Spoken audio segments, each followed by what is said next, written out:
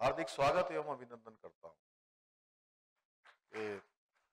आप सभी यहाँ पर एकत्र हुए हैं और भगवान कृष्ण की धरा पर, द्वारिकाधीश की धरा पर ये मेरा सौभाग्य है कि उत्तराखंड के मुख्य सेवक के नाते आप सबको आमंत्रित करने के लिए मैं यहाँ आया हूँ। महात्मा गांधी जी की धरती है, सरदार पटेल की धरती है और आज पूरी दुनिया को जिनके नेतृत्व में भारत का मान सम्मान और स्वाभिमान पूरी दुनिया के अंदर बढ़ रहा है। हमारे देश के यशस्वी प्रधानमंत्री नरेंद्र मोदी जी की भी जन्मभूमि। तो आ, मैं सच बताऊँ तो वैसे आप सब लोगों के लिए गुजरात के लोगों के लिए अहमदाबाद के लोगों के लिए ये कोई शर्मा जी नई बात नहीं होगी कि इस तरह के कार्यक्रम होना। आप सब तो ये कार्यक्रम करते ही रहते हैं। बहुत सारे लोग इन सब कार्यक्रमों में आते रहे होंगे। ऐसे कार्यक्रम देखते रहे होंगे। मैं आपको बताना चाहता हूँ कि हमने भी जो है, जो उत्तराखंड के अंदर एक नई शुरुआत, वैसे मैं आपको बताऊँ कि 2000 में हमारा राज्य बना और लगभग 23 साल राज्य को बने हुए हो गए। और इन 23 सालों में राज्य के अंदर औद्योगिकरण भी हुआ है, निवेश भी हुआ है और तेज़ी से जब देश के प्रधानमंत्री अटल बिहारी वाजपेयी जी थे उन्होंने उस समय हमारे यहाँ के लिए एक स्पेशल पैकेज दिया हुआ था इंडस्ट्रियल पैकेज और उस पैकेज के कारण से भी बड़ी संख्या में खूब सारा निवेश हुआ, औद्योगिकरण हुआ और बहुत बड़ी इंडस्ट्री आई वहाँ पर। और कई सारे सिटकुल जो इंडस्ट्रियल एरिया है, वो डेवलप हुए। उसमें पंतनगर का सिटकुल, जहाँ के बारे में अभी बता रहे थे कि अशोका लैलैंड महिंद्रा, ऐसे तमाम बड़े बड़े समूह वहाँ पर काम करते हैं, सितारगंज में है, हरिद्वार में है, देहरादून में है, अनेकों स्थानों पर, कई हज़ारों एकड़ पर। मैं कह सकता हूँ कि दस हज़ार एकड़ के आसपास के एकड़ पर इंडस्ट्री वहाँ पर स्थापित और अटल जी ने पैकेज दिया था, उसके कारण से आई। लेकिन फिर बीच के दिनों में, चूँकि आप सब जानते बहुत बार राजनीतिक सिचुएशन के कारण से भी चीज़ें आगे पीछे बढ़ती हैं। और बीच में वो जो तेज रफ्तार से चीज़ें बढ़ रही थी, वो कुछ देर, उतनी तेज़ी से आगे नहीं बढ़ पाई। और हमने अभी प्रधानमंत्री आदरणीय मोदी जी के नेतृत्व में, जो आपने देखा होगा वाइब्रेंट गुजरात जब उन्होंने शुरू किया था तो वो स्वयं कह रहे थे कि जो है, बहुत कठिन उस समय होता था, कि लोगों को लाना और जो उस समय सेंटर की जो सरकार थी, वो सरकार भी सहयोग नहीं करती थी, बल्कि उल्टा कई बार उद्योग समूह के लोगों को यहाँ आने से भी रोकती थी। तो उस प्रकार की स्थितियाँ थी और हमने उन्हीं से प्रेरणा ली, उनसे मैंने मार्गदर्शन भी लिया।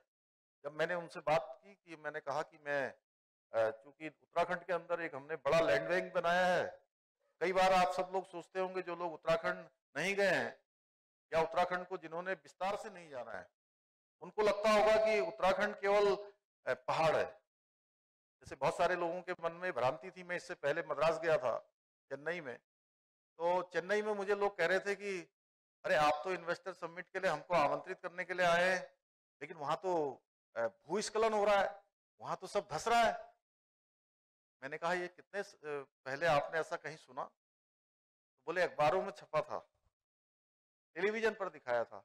तो मैंने कहा, इस बार उत्तराखंड के अंदर जो चार धाम यात्रा हुई है जिसमें गुजरात के लोगों का अधिकतम आना होता है। तो चार धाम यात्रा में अभी तक बावन लाख लोगों से भी अधिक लोग आ चुके हैं। अब तक का सबसे बड़ा रिकॉर्ड है इस साल का, जिस साल जो लोग जिस साल लोग कह रहे हैं कि ये धस रहा है, शर्मा जी, पांडे जी। लोग कह रहे हैं कि भूस्खलन हो रहा है, वहाँ तो कहाँ इंडस्ट्री लगेगी? तो मैं बताना चाहता हूँ कि चार जो ज़िले हैं हमारे जिसमें नैनीताल और देहरादून दो ज़िले हैं जहाँ पर आंशिक रूप से पर्वतीय क्षेत्र है, हिल स्टेशन भी हैं, और हरिद्वार और उधम सिंह नगर पूरी तरह से मैदानी क्षेत्र है, और वहाँ पर बड़ा बड़ा इंडस्ट्री का हब है, जिसमें आप जानते हैं। जहाँ पर हमारे अनेकों संस्थान, उद्योग समूह स्थापित हैं। हरिद्वार में बड़ा सिटकुल हमारा है उधम सिंह नगर में बड़ा सिटकुल है। तो लोगों के मन में कई बार शंका होती है कि नहीं, कैसे जाएँगे? उसके अलावा पहाड़ के अंदर एक से एक स्थान है, अभी आपने देखा होगा, इसमें यहाँ पर जो दिखाया गया इसमें जो प्रेजेंटेशन आ रहा था, सुधांशु जी जब दिखा रहे थे, रोहित ने जब दिखाया था तो अभी टिहरी है, मुक्तेश्वर है, कौसानी है, औली है दहरा बुग्याल है, ऐसे बहुत सारे स्थान हैं, जहाँ पहाड़ों में भी अपार संभावनाएँ तो इसलिए मैं आप सबके बीच में आया हूँ कि जिन्होंने उत्तराखंड नहीं देखा है, उनको एक बार उत्तराखंड ज़रूर देखना चाहिए। जब मैं दुबई गया, अबू धाबी गया, लंदन गया और कई स्थानों पर, ऐसे अभी ये हमारा छठा लोग आप सबके बीच में, ये छठवां जो है, औपचारिक रूप से रोड शो का कार्यक्रम है। और जितनी भी जगह में गया, मुझे आप सबको बताते हुए खुशी हो रही है कि लोगों ने बहुत उत्साह दिखाया है। और आगे बढ़ चलकर जो लोग उत्तराखंड के बारे में नहीं जानते थे, उन लोगों ने सर्च किया, उन लोगों ने थोड़ा जानकारी करी तो लोग उत्साहित हैं आने के लिए। और वैसे भी देखिए व्यापार एक ऐसी चीज़ है, निवेश करना। मैं बड़ी एक दिन गहराई से सोच रहा था और मैंने सभी अपने अधिकारी गणों से कहा कि जो भी लोग हमारे यहाँ निवेश करने आएँगे, ठीक है, बहुत सारे लोग तो बहुत बड़े बड़े निवेश करते हैं वो दुनिया के अंदर निवेश कर रहे हैं, एक स्थान पर किया, एक राज्य में किया, दूसरे राज्य में किया, देश में किया, विदेशों में किया। लेकिन कुछ लोग ऐसे भी होते हैं, जो अपने संपूर्ण जीवन भर की जो उनकी पूंजी होती है, वो एक बार निवेश करते हैं। उनके पास एक ही बार का मौका होता है तो वो कौन सा स्थान खोजते होंगे? वो वो स्थान खोजते हैं, जहाँ देखते हैं कि उनका ये निवेश सुरक्षित रहेगा कि नहीं रहेगा? उनका ये निवेश भविष्य में आगे बढ़ेगा कि नहीं बढ़ेगा? उनका जो कारोबार है वो सुरक्षित रहेगा कि नहीं रहेगा? वो फलेगा, फूलेगा कि नहीं? उसमें वृद्धि होगी कि नहीं होगी? ये सब सोच कर निवेश करते हैं और व्यापारी जहाँ भी जाता है, वो बहुत सोच विचार के निवेश करता है। इसलिए मैं आप सबसे कहने के लिए आया हूँ कि उत्तराखंड भविष्य की दृष्टि से भी, आज की दृष्टि से भी और सुरक्षा की दृष्टि से भी, हमेशा के लिए जैसे सनातन के बारे में कहते हैं ना, सनातन पहले भी था, आज भी है और हमेशा रहने वाला है। वो सनातन के साथ आप उत्तराखंड को जोड़ सकते हैं कि सनातन पद्धति को मानने वाला उत्तराखंड सुरक्षित था, सुरक्षित है और हमेशा जो है सुरक्षित रहेगा हमेशा जो है भविष्य को आगे लेकर चलेगा। तो इस प्रकार की चीज़ें वहाँ पर हैं और मैं आप सबको ये बताना चाहता हूँ कि मैं पिछले दिनों जब लंदन गया था तो लंदन में मैं वहाँ के बहुत मंत्री समूह के लोगों से मिला इंग्लैंड सरकार के। मुझे आपको बताते हुए खुशी हो रही है कि जिन अंग्रेज़ों के बारे में हम सुनते आए, उन्होंने हमारे देश पर इतने सालों तक हमारे ऊपर राज किया। आज हमारे देश के अंदर जो लीडरशिप है, हमारे प्रधानमंत्री मोदी जी के नेतृत्व में, उनकी लीडरशिप में जो अभी अभी हाल में हमने जी ट्वेंटी का यहाँ समिट हमारे देश के अंदर आयोजित हुआ। उस जी ट्वेंटी के समिट के कारण से पूरी दुनिया के अंदर भारत की एक अलग छाप चली गई। पूरी दुनिया के लोग जिस आ, सम्मान की दृष्टि से आज हमारे देश को देख रहे हैं उसके पीछे जानते हैं कारण क्या है? मैंने इंग्लैंड के दो तीन मंत्रियों से जब मैं मिला तो मुझे सबने कहा कि आप लोगों ने तो बड़ा कमाल कर दिया।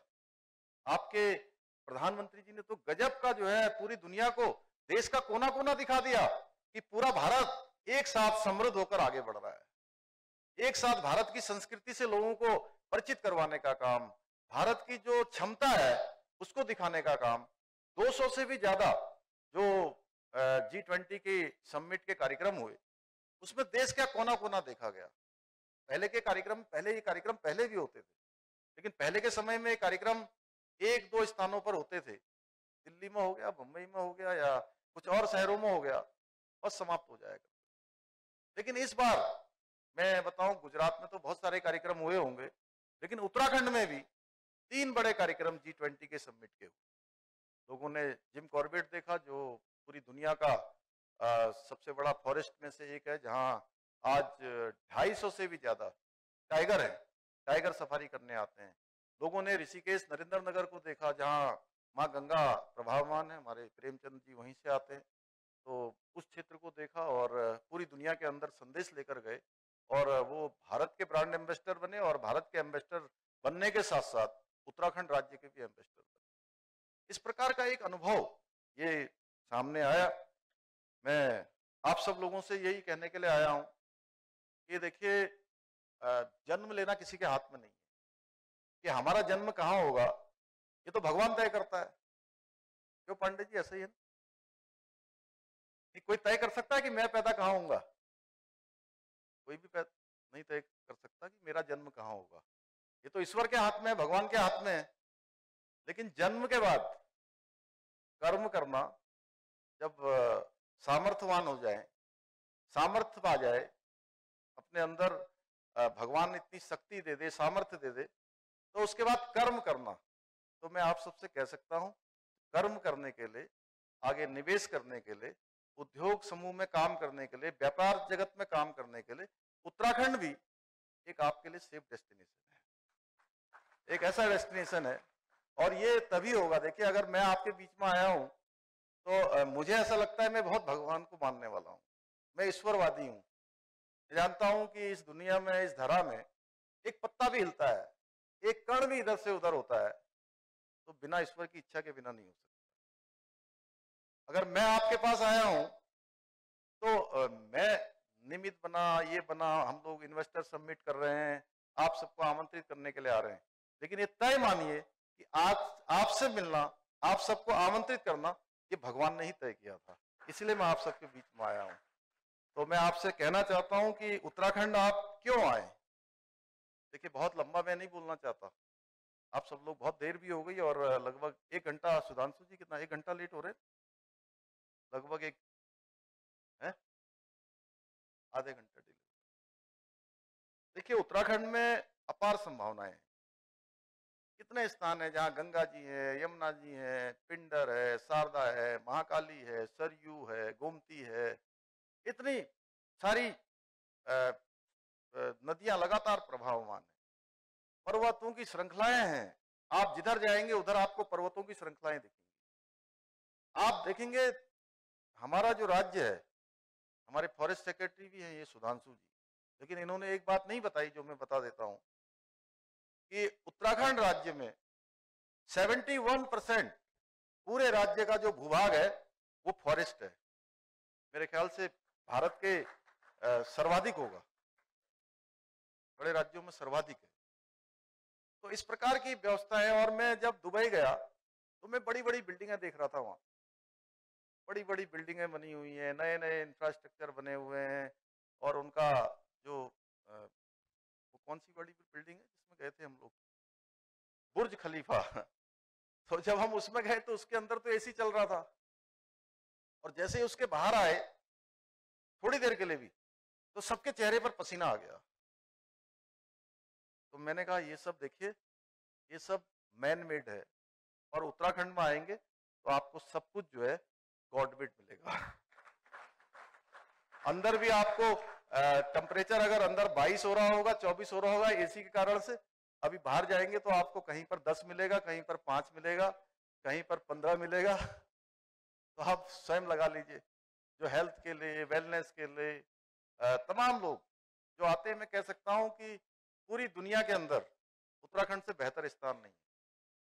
और मुझे ये भी बताया कि जो अहमदाबाद से दिल्ली की, वो अहमदाबाद से जो देहरादून की फ़्लाइट चलती है, वो फ़्लाइट हमारे यहाँ की चलने वाली सबसे पुरानी फ़्लाइट और मुझे तो लगता है कि अभी एक फ़्लाइट चल रही है, हमको बहुत जल्दी निवेदन करना पड़ेगा भारत सरकार से airport of authority of India से कि आप जो है उत्तराखंड में देहरादून से अहमदाबाद की दो फ़्लाइट चलाइए, तीन फ़्लाइट चलाइए। धीरे धीरे कितने लोगों का आना जाना हो रहा है? और चार धाम आने वाले लोग सब लोगों ने देखा है किस तरह से उत्तराखंड बदल रहा है। सड़कों की स्थिति पहले कैसी थी? बाबा केदार का जो पुनर्निर्माण का काम है हमारे प्रधानमंत्री जी के ही नेतृत्व में हो रहा है। और एक बात और बताऊँ, देखिए प्रधानमंत्री जी भगवान भोलेनाथ के बहुत बड़े भक्त हैं, महादेव के बहुत बड़े भक्त हैं। और जब वो मुख्यमंत्री थे तब भी वो केदारनाथ का पुनर्निर्माण का काम करना चाहते थे, उस समय आपदा आई थी। लेकिन उस समय परिस्थिति नहीं बन पाई। 2013 में आपदा आई। ठीक एक साल बाद वो प्रधानमंत्री बन गए और भगवान भोलेनाथ ने उन्हीं को मौका दिया, यानी कि अपने भक्त को मौका दिया और आज केदारनाथ का जिस प्रकार से पुनर्निर्माण हो रहा है, पूरी दुनिया देख रही है। आप एक दो सालों के अंदर देखेंगे, पूरा भव्य केदार और दिव्य केदार। बद्री विशाल का पुनर्निर्माण मास्टर प्लान पर काम चल रहा है। केदारनाथ के लिए रोप वे बन रहा है। और हेमकुंड साहब के लिए रोप वे बन रहा है। देहरादून के लिए आज 40 से ज़्यादा फ्लाइटें पूरे भारत के अंदर से लगातार चल रही हैं। और अभी अभी ऋषिकेश, कर्णप्रयाग रेल लाइन का काम। आने वाले टाइम पर 125 किलोमीटर की जो रेल यात्रा है, वो पहाड़ों पर रेल से हो पाएगी। और इतना ही नहीं, अभी 12 अक्टूबर को पिछले महीने 12 अक्टूबर को माननीय प्रधानमंत्री जी ने जहाँ आप सबको बताऊँ कि हमारे यहाँ केदार खंड भी है और मानस खंड भी है। आपने देखा होगा, प्रधानमंत्री जी अभी आदि कैलाश गए थे और आदि कैलाश बिल्कुल सीमांत क्षेत्र है। भगवान भोलेनाथ जहाँ विराजते हैं, वहाँ पर पार्वती कुंड है और उसी के बगल में लिपू लेक है, लिपू लेक। भारत का अंतिम कोना, सीमांत क्षेत्र। और लिपू लेक एक ओल्ड लिपू लेक है और अब नया लिपू लेक बन गया है। सड़क बन गई है 200 मीटर सड़क बनाने के लिए पाँच किलोमीटर का रास्ता बनाना पड़ा है। उस सड़क का निर्माण कार्य पूरा हो गया है। आप सब लोग आने वाले समय में सड़क मार्ग से ही हमारे यहाँ से सीमा से, अपने, इसी सीमा से, अपने देश की सीमा के अंदर से आप हाथ जोड़ेंगे, आगे को गर्दन उठाएँगे तो आपको कैलाश मानसरोवर दिखाई देंगे, उनके दर्शन होंगे। ये सब चमत्कार और जागेश्वर धाम पूर्णागिरी का धाम, हाट कालिका का धाम ऐसे अनेकों बैजनाथ धाम गुजरात के बहुत सारे लोग मुझे अभी पिछले दिनों में एक दिन बैजनाथ के पास गया था, मैं भी सवेरे दर्शन करने गया। तो 25-30 लोगों का एक दल, जिसमें सारे कुछ बुज़ुर्ग भी थे, कुछ नौजवान कम थे, लेकिन वो एक मिला जुला दल था। तो वो लोग सब लोग मुझे देखा, उन्होंने, मैं भी सवेरे आया स्नान करके, मैंने भी सोचा कि मैं जहाँ भी जाता हूँ तो मंदिर के दर्शन करने जाता हूँ या जो भी प्रमुख स्थान होता है वहाँ जाता हूँ। तो जब मैं वहाँ जा रहा था तो मुझे देख के सब ज़ोर ज़ोर से चिल्लाने लगे जय श्री राम जय श्री राम। तो मैं उनके पास स्वतः ही चला गया। मैंने कहा आप लोग कहाँ से आए हैं? तो बोलो उन्होंने बताया कि हम गुजरात से आए हैं और आ, आ, हमारा ये दल पंद्रह दिनों के लिए उत्तराखंड आया है। तो मैंने उनसे पूछा आप कहाँ रुके हैं? तो उन्होंने कहा नहीं हम बैद्यनाथ आए हैं बैद्यनाथ धाम वहाँ पर है अल्मोड़ा ज़िले में, अल्मोड़ा, बागेश्वर ज़िले में और बोले कि हम कौसानी में रुके हैं और मैंने कहा कोई परेशानी तो नहीं हुई, कोई परेशानी हुई तो आप मुझे बता दीजिए। बोले नहीं, कोई परेशानी नहीं हुई, हम तो पूरे टूर के साथ आए हैं और टूर वाले ने हमारा ये पूरा दौरा मैनेज किया है। तो मैं आपको बताना इसलिए चाह रहा हूँ कि अब आने वाले समय में अभी जैसे चार धाम यात्रा है तो चार धाम यात्रा हमारी कुछ दिनों के लिए चलती है छह महीने के लिए चार पाँच महीने के लिए। और ये जो उत्तराखंड की यात्रा है वो पूरे साल भर चलने वाली। हर दृष्टि से माने कि आप उत्तराखंड आएँगे तो आपको चारों ओर कुछ न कुछ प्रकृति के रूप में कुछ न कुछ आ, मैं कहूँ कि मौसम के रूप में पर्यावरण के रूप में हर चीज़ आपको प्राप्त होगी। अभी उद्योगों को बढ़ावा देने के लिए हमारी सरकार लगातार काम कर रही है। निवेशकों से हम लगातार बात कर रहे हैं। हमने नीतियों को, जो पॉलिसीज़ है, नई पॉलिसी बनाई है, जैसे इन्होंने बताया, सत्ताईस पॉलिसी मेरे ख्याल से अब ये तीस के आसपास हो गई है, जो नई पॉलिसी हमने बनाई है। तीस पॉलिसीज़ बनाई है। बहुत सारी पॉलिसीज़ को हमने लिबरल किया है, यानी उनको संशोधित किया है। और ये संशोधन क्या है कि ये हमारे लिए नया अनुभव है। वो ऐसा नहीं कि मैंने बहुत बार इन्वेस्टर सबमिट कर ली हो, मैंने शुरू से एक कोशिश करी कि जिस दिन से मेरे को ये काम मिला और हमारे प्रधानमंत्री जी ने मुझे काम दिया, मेरी पार्टी ने मुझे काम दिया। उसी दिन से मैंने प्रयास किया कि उत्तराखंड के अंदर उद्योगों की एक बड़ी संभावनाएँ हैं और हर प्रकार का उद्योग, हर प्रकार का निवेश उत्तराखंड में हो सकता है। तो हम उसके लिए क्या कर सकते हैं? उसके लिए मैंने कोशिश करी कि पहले दिन से जो हमारे यहाँ के चलने वाले उद्योग थे, जो पहले उत्तराखंड में चलते हैं, उन सभी से मैंने कम्युनिकेशन किया, उनको बुला के बात करी कि आप आइए, आप बताइए कि आपके क्या क्या सुझाव हैं।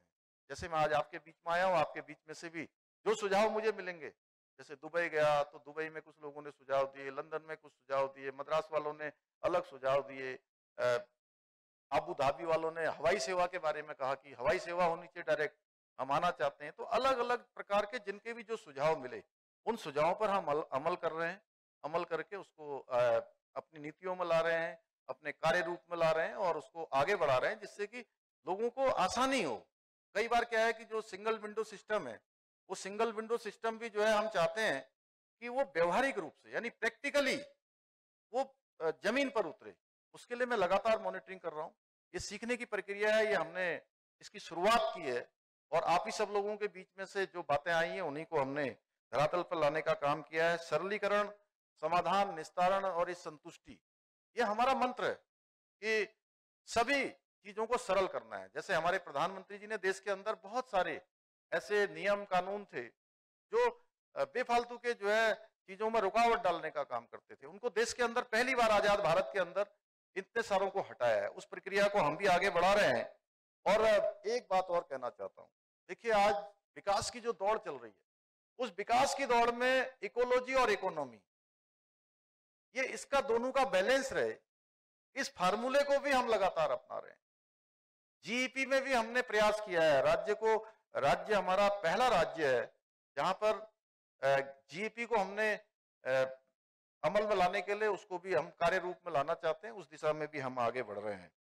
और लैंड बैंक अभी बड़ा बनाया है, जैसे आप लोगों को लगता होगा कि वैसे तो आप में से तो अधिकांश लोग उत्तराखंड आते हैं, जानते हैं उत्तराखंड के बारे में, लेकिन जहाँ नहीं जानते हैं, उनको मैं बताना चाहता हूँ कि 6000 एकड़ से ज़्यादा का लैंड बैंक हमने बनाया है अभी और ये पर्वतीय क्षेत्रों में अलग है, जो हमारे हिल्स में आएँगे, जो हिमालय की तरफ़ जाएँगे, उनके लिए हम और प्रोत्साहन की नीतियों को भी लाए हैं, ला रहे हैं और अमल में ला रहे हैं।